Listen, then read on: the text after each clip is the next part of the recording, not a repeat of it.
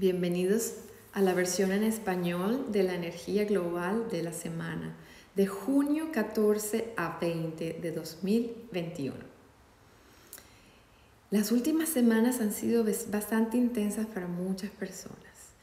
Eh, en algunas, ah, para algunas personas han tenido que ver fuertes realidades para poder realmente entender lo que tienen que hacer para seguir su camino de crecimiento.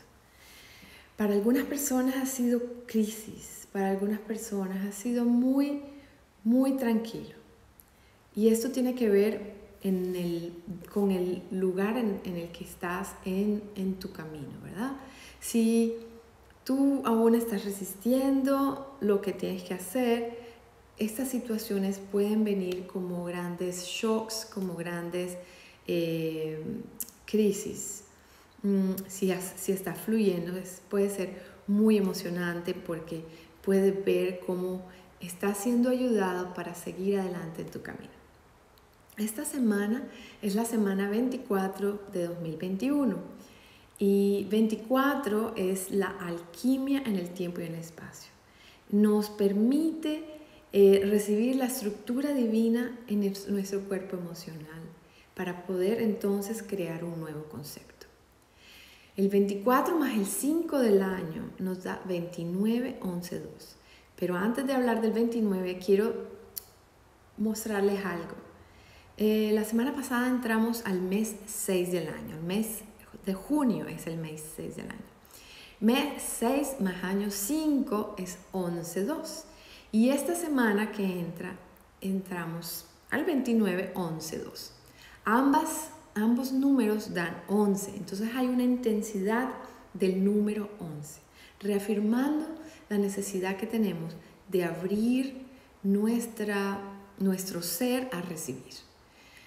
El 11, si lo miras, es 2-1, ¿verdad?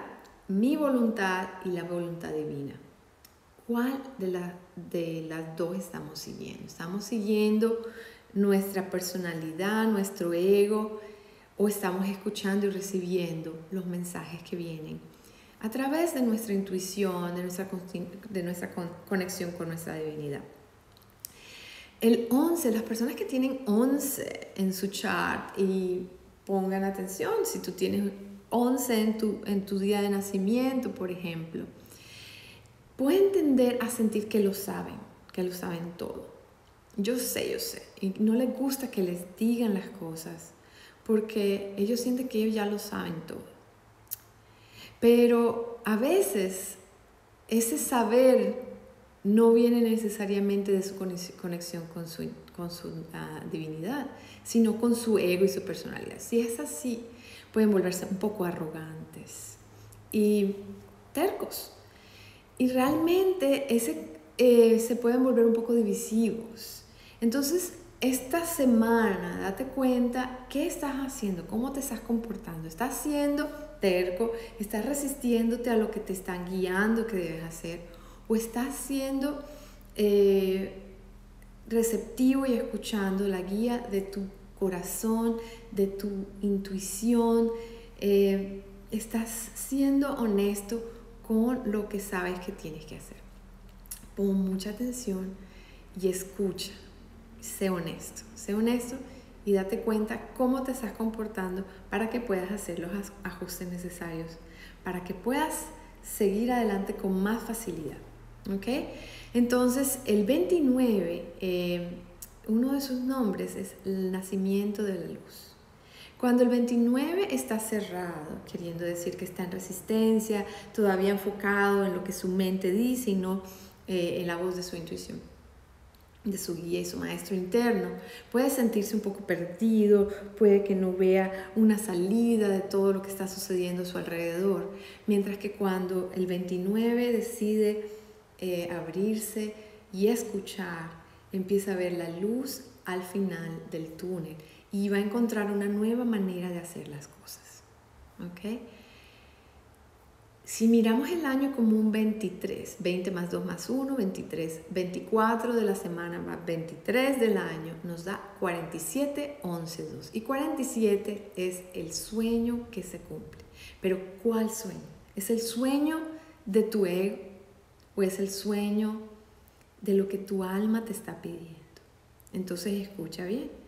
Ahora, ¿cómo escuchar? Hay personas que, no, no, no están muy acostumbradas a escuchar su guía y su maestro interno.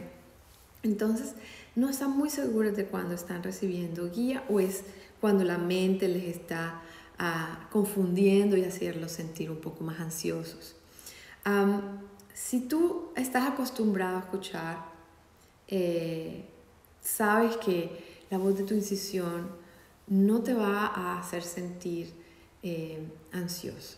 La voz de tu intuición te va a dar posiblemente una instrucción, te va a poner una idea en tu cabeza, de pronto puede venir a través de los sueños o señales en la calle, pero que inmediatamente, porque ya tú estás acostumbrado a escuchar, te das cuenta, ok, por aquí es. Cuando es la mente, tendemos a sentir un poco de ansiedad, cómo voy a hacer eso, cómo voy a hacer lo otro, y ahora, ¿cómo Tiene, tratas de, buscar soluciones con, con, una con una mente limitada que no tiene la capacidad de ver más allá de sus narices, como decimos nosotros en Colombia. Eh, entonces, no vas a sentir ansiedad cuando escuches esta voz. Es como algo muy neutral, es muy fácil de distinguir cuando ya estás acostumbrado a escuchar. Si no estás acostumbrado, entonces eh, bueno, estos son unos tips, que lo que escuches, lo que veas, no te dé ansiedad, sino que te dé como una confirmación. Es posible que, que empieces a ver señales en la carretera cuando vas manejando y se repite y se repite el mismo mensaje. Lo ves en la carretera, lo ves en el, en el, en el anuncio de la televisión, lo ves escrito en un libro, etc. Como, como mensaje reconfirmando la misma idea. O es posible que lo, que lo veas que alguien venga y te diga una, un mensaje que enseguida te abra como una luz.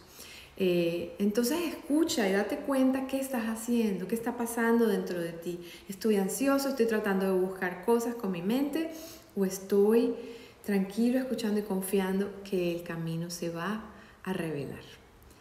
Eh, miremos entonces la semana eh, desde el punto de vista de los días. Entonces, la semana empieza el 14 de junio y el 14, lo hemos mencionado en semanas anteriores, es el poder de la palabra. Es un número muy poderoso. Nos habla de nuestra capacidad de co-crear y de cómo podemos, si estamos abiertos a recibir mm, el concepto y las ideas, podemos elevar nuestra conciencia. El 14 también se relaciona con el concepto de kundalini y los que conocen un poco de kundalini saben que es esta energía vital que nos ayuda a subir nuestro nivel de conciencia. Eh, y entonces este es un día en el que podemos eh, acceder a ese tipo de energía. El mes 6 nos pide morir a lo anterior, nos pide ser muy receptivos y escuchar más allá de nuestros deseos, de nuestra personalidad y escuchar lo que nuestra alma nos está pidiendo que hagamos, que dejemos atrás. Y si miramos el 14 como un 5, 1 más 4, 5, el 5 y el 6, 56. Y 56 nos pide cambiar nuestra mentalidad, nos pide abrirnos y ser más flexibles, escuchar. Si ves 5 y 6, otro 11. Otro 11 que nos dice, escucha y conéctate con tu guía interno. 14 y 6 es 20. El 20 también lo hemos mencionado antes. Eh, quiere que, pedirte que des a luz a ti mismo, que te acerques cada vez más a quien viniste a, a expresar, al ser que viniste a expresar. Te pide que te muevas adelante con tus proyectos, con tus eh, proyectos de vida, lo que tu corazón te está pidiendo hacer. Te está pidiendo que sueltes esos miedos que te están teniendo atrancados. Y 20 más 5 del año 25. 25 em, cuando está eh, cerrado puede causar que nuestra mente esté muy inquieta, que estemos de pronto pensando demasiado, demasiado, demasiado. Cuando estamos abiertos, ese 5 del 25 es la mente divina. Nos está trayendo muchos mensajes y generalmente los recibimos a través de nuestro cuerpo emocional, es decir, a través de nuestras emociones. Podemos percibir lo que necesitamos hacer y esto puede traer muchas oportunidades de transformación y sanación. Entonces, mira, date cuenta cómo estás comportándote para que puedas hacer los ajustes necesarios. La semana termina el 20 de junio, nuevamente un 20 en la ecuación. Así que se refuerza la idea de que des a luz a ti mismo. ¿Quién vienes a ser? ¿Quién vienes a expresar? ¿Cuáles son los regalos que quieres compartir? Y sala, dale el paso, da el paso. Ya la semana pasada nos hablaba de ser, tener el coraje de empezar. Esta semana te están dando la guía de cómo hacer y cómo seguir adelante con esos pasos. Entonces, 20 más 6, 26. Y el 26 quiere que hagamos los ajustes necesarios. Hay cosas que pueden suceder de pronto que te van a pedir, bueno, listo, no lo quieres hacer a las buenas, lo vas a hacer a las malas porque realmente es lo que necesitas, es lo que has pedido eh, desde otro punto de tu conciencia y es lo que has querido para poder acercarte y alinearte con quien eres realmente.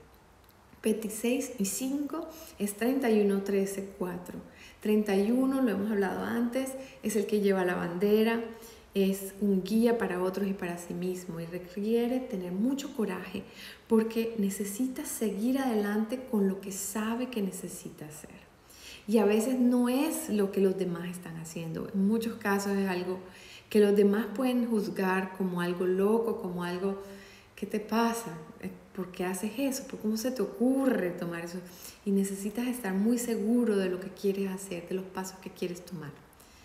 Requiere mucho valor, resiliencia, resistencia y confianza en lo que, en lo que realmente amas y lo que quieres hacer. Pero también es un 13 y hemos hablado del 13 como la mariposa que va a elevarse, a crecer. Pero para hacer eso necesita morir a lo viejo, a lo antiguo. las estructuras antiguas no sirven más, ya no sirven. Necesita morir a lo anterior. Tiene que dejar ese, eh, la oruga atrás y necesita sacar esas alas hermosas para convertirse en su ser, en ese ser que viene a expresar.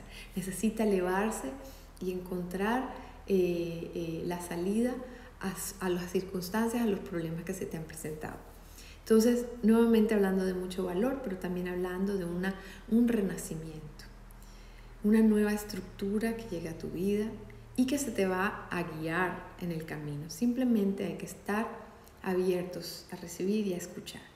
Ahora, si estás en el hemisferio sur como yo, en Australia, el 20 de junio también corresponde con el, solsticio de invierno el solsticio en el solsticio de invierno es nuestro día más corto del año.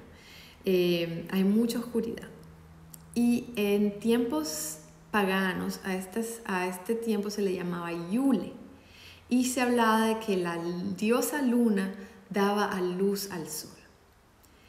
Es el renacimiento del sol. Y adivina quién es ese sol. Eres tú, tu ser, tu alma está renaciendo. Esta es la oportunidad de renacer entonces, durante un solsticio de, invierno, se nos pide mm, reflexionar en las cosas que realmente reconectarnos con nuestro corazón y realmente entender qué es lo que queremos en, nuestras vidas, qué es lo que realmente queremos ver y crear desde allí. Eh, es un tiempo para, poner nuevos, nuevos objetivos, nuevas metas, hacer cambios a nuestros eh, comportamientos personales, a nuestros hábitos y renacer. Nos da la oportunidad de regenerarnos, de renovarnos y es un periodo básicamente de, de transformación. Por eso tanto cambio. Ahora, si tú estás en el hemisferio norte, como Estados Unidos, incluso, bueno, Colombia tiene parte en el hemisferio norte y parte en el hemisferio sur, pero más la mayoría está en el norte, sería el solsticio de verano. Y en el solsticio de verano estás en tu esplendor, estás en tu esplendor. Es eh, al contrario el día más largo del año y es un tiempo de recibir mucha luz.